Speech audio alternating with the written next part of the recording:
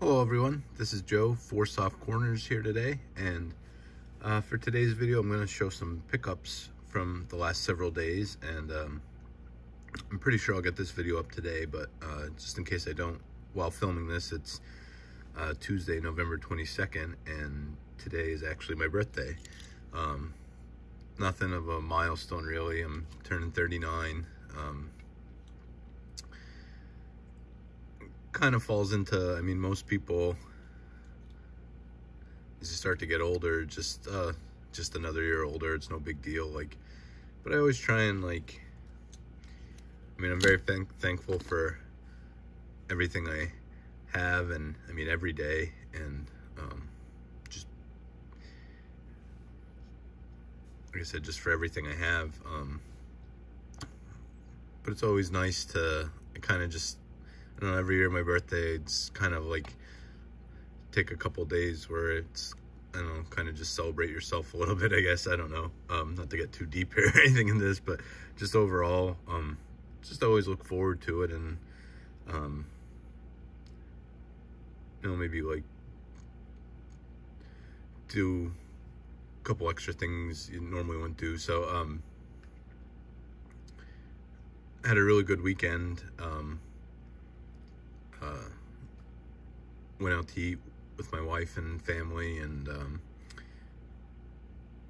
um, by special request she made me some uh, birthday pumpkin pies this year. So uh, had a really good great birthday on that end. And then also um, Saturday um, set up at a local uh, card show at our local mall here. Um, so set up there and sold some stuff and then was able to buy a little bit of stuff. And then with um, profit from the show and then uh, some money from some birthday cards and stuff uh, visited a, a hobby shop. It's a little bit farther out of the way but still probably I should get there more often than I do. But um, yesterday and picked up some really great stuff. So I think I'm gonna split this up into two videos showing what I picked up at the card show and then showing what I picked up at the card shop yesterday. Um, but I was really, really excited just to make this video just because um, got a lot of great deals on stuff and normally don't have a ton of pickups at one time, but able like I said, with coupling my birthday with um, selling some stuff at the show, was able to pick up a lot of stuff. And like I said, it's some great deals, I think. So anyway, instead of rambling on for too long, I'll start. So it started off, um, normally my friend uh, Bryn, Bryn sets up with me.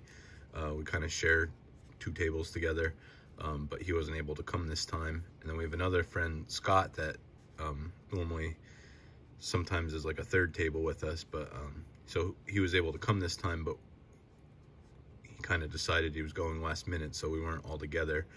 But um, throughout the day, both spending a lot of time at each other's tables looking at stuff. And uh, I bought some stuff from him early, and then he bought some stuff from me late. And um, we made a pretty big trade, which on both ends we were happy with. So that will be last. But first, um, so this was just, this is a stack of 48 uh, 1961 Topps. Um, most of them have a little bit of this scuffing there. Um,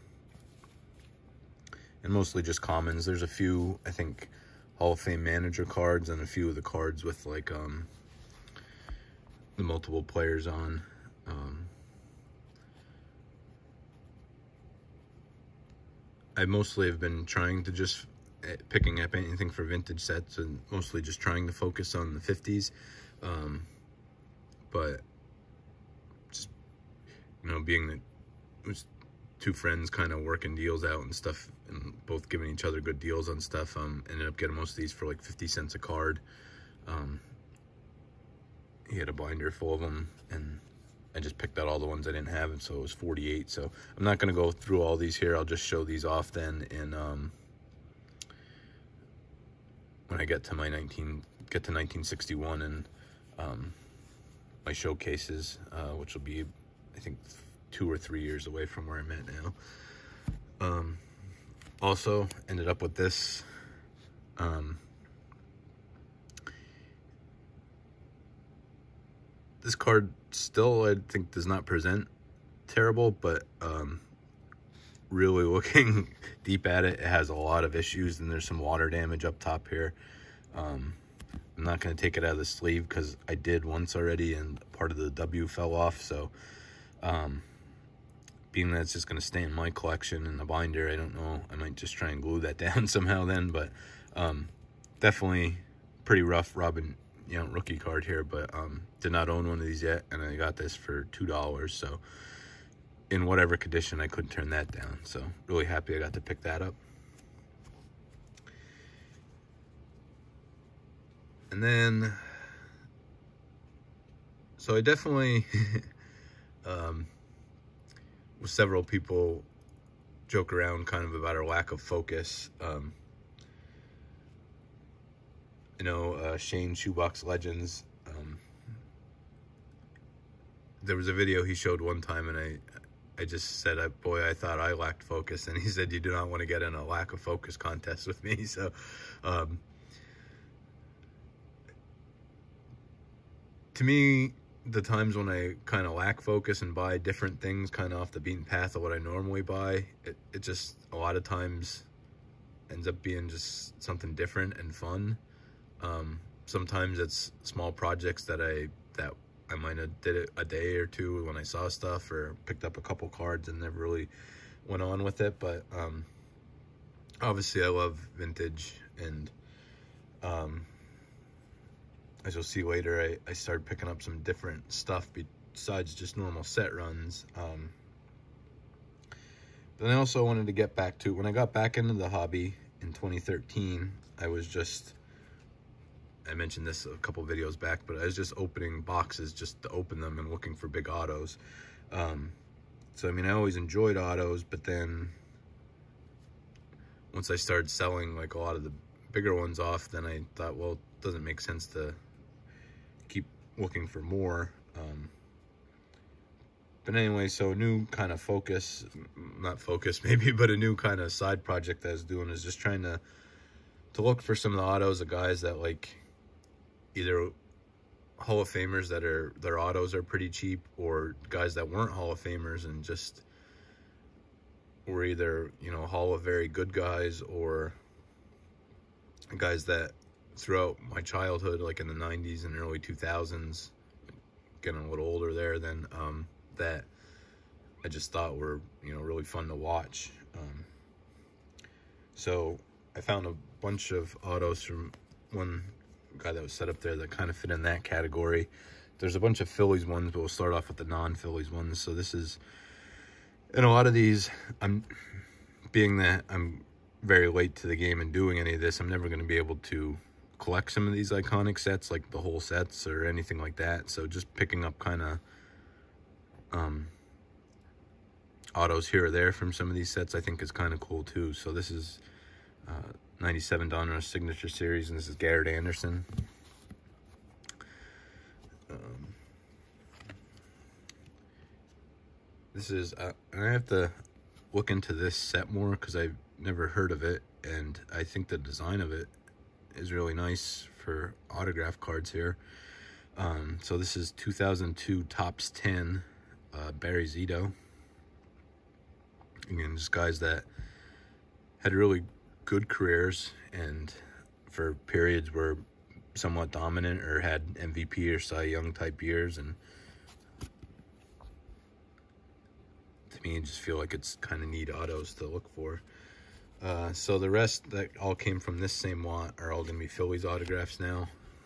So these were a lot of cool pickups to me. Um, this is from 2018 Topps Archives fan favorites, um, Mike Lieberthal.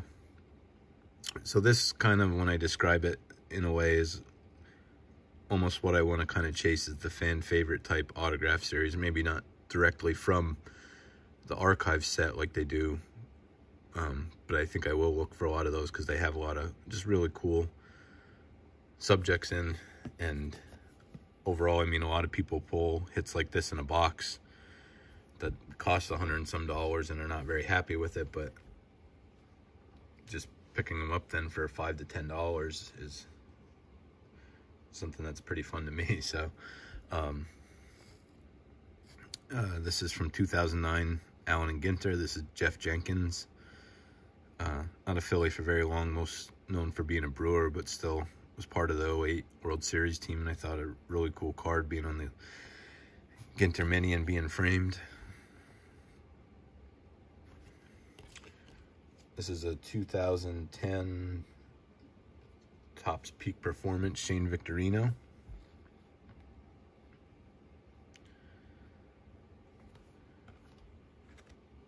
There's a 2000 Flair Showcase Fresh Ink Pat Burrell.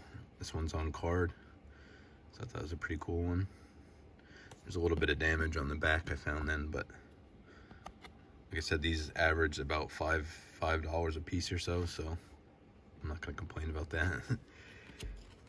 and then this just the um, design of the card. It's still a sticker auto, but has some nice shine to it. This is 2006 Upper Deck Special Endorsements Carlos Ruiz. Um, I mean, just really was a great catcher and anchor of that staff for so many years and ended up with a decent amount of clutch hits in his time too, so.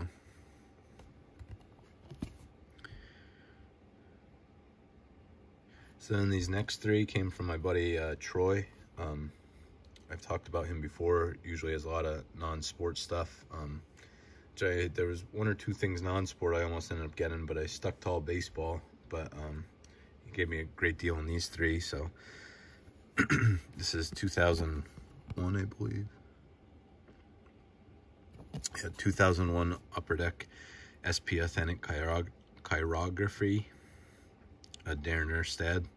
I always remember his season, which I believe Ichiro broke then, but um, well, actually, I have to go back and look now because I, I know George Sisler had the hit record. I don't remember if Erstad broke it and then Ichiro did, um, or if he was just chasing Sisler. I don't remember, but I mean, you know, I think it was the 2000 season was, or 99. I'm not sure. I should have looked that up before I started the video, but um, I just know he had a year with a ton of hits. And was a fun player to watch always. So this one I thought was neat because I also have the Mike Schmidt from the set. So this is the 2001 Triple Threads, Ryan Howard.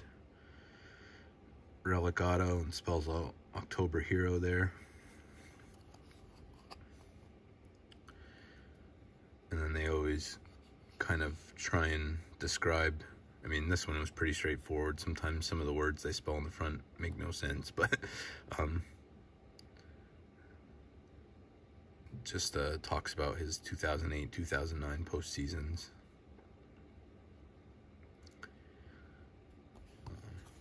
in the grand scheme of things, while he played, I he was fantastic for a lot of years.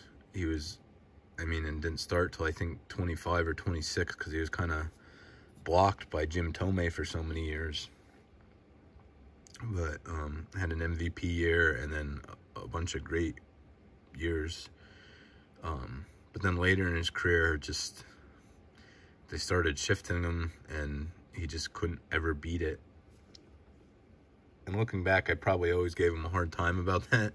Um, just why couldn't you go over, go the other way? But all in all, looking back on his career for um, kind of as short as it was, I mean, it was a pretty great career. So. Um, and this is the last one from those three card pickup. This is from 2000 Upper Deck Legends, Legendary Signatures, and this is a Vlad Guerrero Senior autograph. So, always loved watching him play. Just swung at literally everything, and you know, always had the bare hands, no batting gloves, and was just really fun to watch. Had a cannon of an arm in right field, and so I was happy to pick that one up on card signature. Um, so like I said, starting to, those were kind of my venture off the beaten path into some different things. I just, I don't know, just getting back into autographs like that, just of some of those guys like that, just to me is really fun. So, but um, then going back to the vintage stuff, um, like I said, I still picked up some stuff for some of the sets I'm working on, but at the same time, just picking up stuff from sets I don't have yet, um, some different issues. Um, so there's a father and son there that always have vintage, and for me, it's actually a little bit too high end. Usually they have binders of stuff like the complete for sets and a bunch of graded stuff, but normally kind of a little too high end for me. But um, they had a stack of Red Man cards and I hadn't owned one of those yet, so this was at a pretty good price, so I figured I'd pick up the Robin Roberts. Still has the tab on. And these are just really great looking, the color on them and just the artwork. Definitely would like to look into picking some more of these up. And then my last pickups from the show um, were uh, I mentioned earlier, I did a trade with Scott. Um, just always nice to, you know, be able to. Like I said, we both gave deals to each other on buying stuff, and then um, both were interested in a couple things, so we ended up working out a trade. So I had two graded um, Bryce Harper rookie cards left that I I'd got graded, just hoping they would get tens. They didn't. Uh, one was a PSA nine um, the other was an, um, yeah, two nines. Um,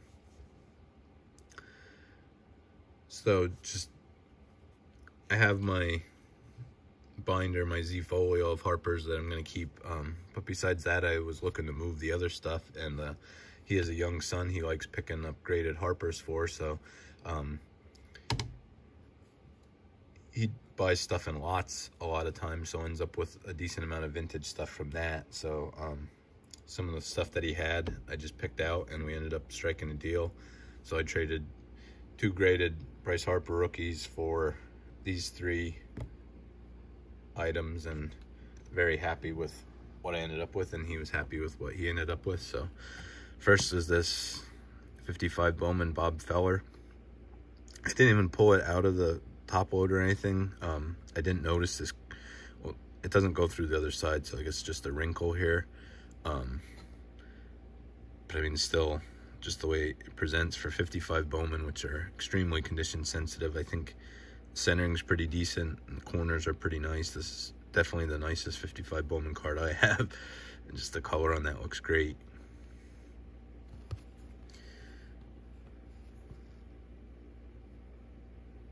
So I was really happy to get that. Um, see if this will fit in.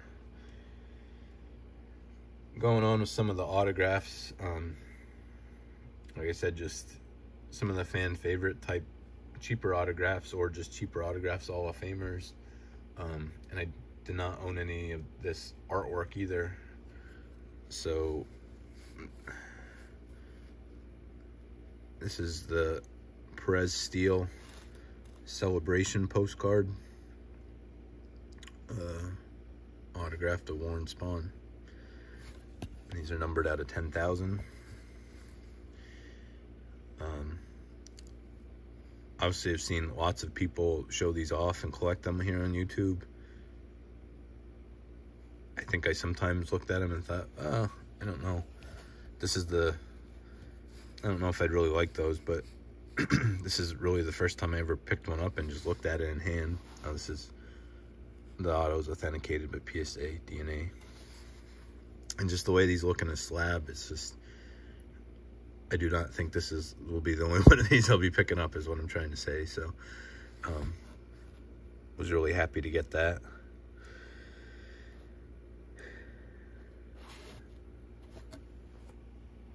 Put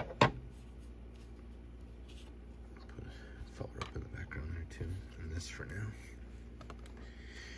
And so lastly, um, up until this point, um, the oldest card I have in my collection was from 1950 Bowman. Um, so I don't, I guess call this pre-World War II. I someone at the show, the one uh, dealer I usually joke when were joking around. I, I said I picked up my first pre-war card, but he said technically it's just pre-World War II, not pre-World War One.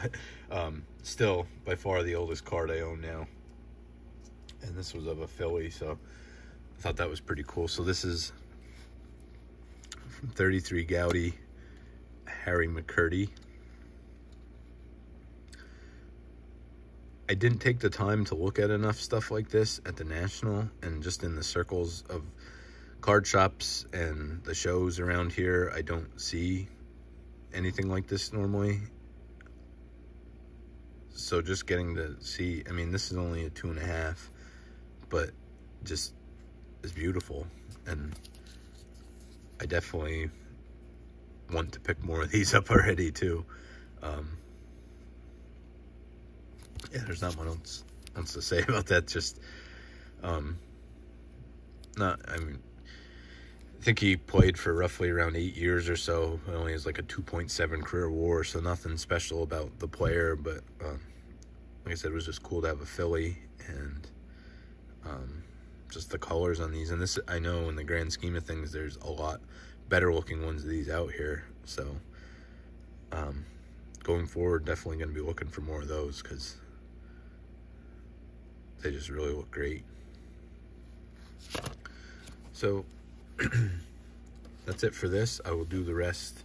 This is a lot longer than I thought it was going to be, but um, I'll do the rest in the second part. And um, so look look for that one. I'll probably do that a day or two after this one. And um, just thank it. Thank you everybody for watching. And just remember, every card can be a great looking card, even if it has four soft corners. Thank you.